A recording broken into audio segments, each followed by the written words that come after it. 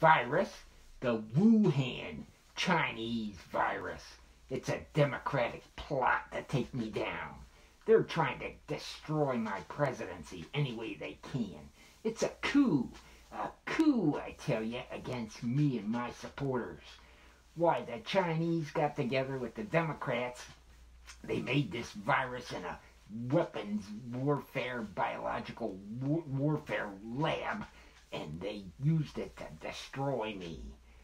They're trying to take down a president any way they can, because I'm the best. I'm the best, smartest, best guy in the world. I'm the best president ever.